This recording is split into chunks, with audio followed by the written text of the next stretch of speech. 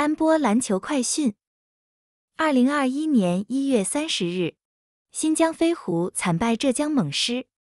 周二晚上，CBA 常规赛第三十二轮迎来一场焦点战。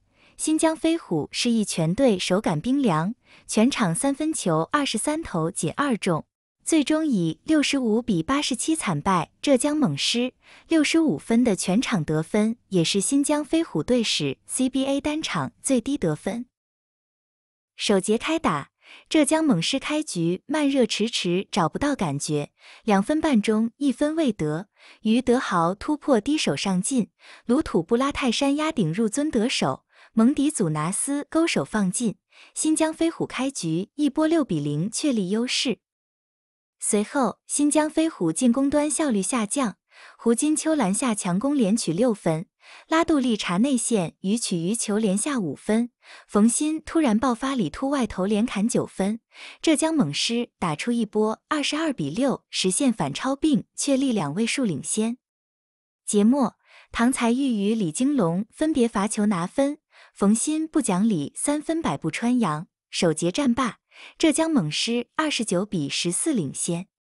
次节开局，热伏卡提江转身勾手率先拿分。李金龙弧顶三分应声入网，唐才玉借掩护突破上篮得手加快攻加强杀，打成二加一连拿七分。孙明辉急停干拔为浙江猛狮止血。此后场上对抗升级，球证哨声频频，双方多次站上罚球线，新疆飞虎逐渐将分差迫近至个位数。随后，冯鑫火力不减，在中大号三分，蒙迪祖纳斯内线强打连取四分，于德豪造犯规罚球拿分，冯鑫踩线两分再中。半场战罢，浙江猛狮四十二比三十二领先。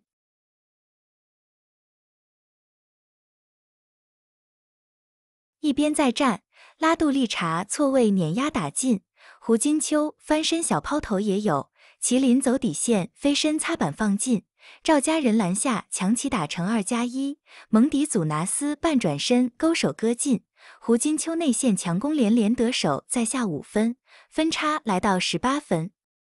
紧接着，阿布都沙拉木三分终于开张，孙明辉大三步上篮得手，唐才玉突破转身抛投落袋，胡金秋内线继续砍分，冯鑫命中本场第四记三分。李金笑吃饼入樽中接，拉杜丽查内外结合连拿四分，浙江猛狮带住二十一分优势进入末节争夺。末节决战，朱传宇篮下转身勾手打进，胡金秋连续造杀伤，四罚全中。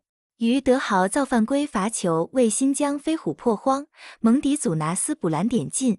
李金孝一挑二强硬打进并造成犯规，胡金秋跨步上篮打进后补篮造犯规，两罚一中。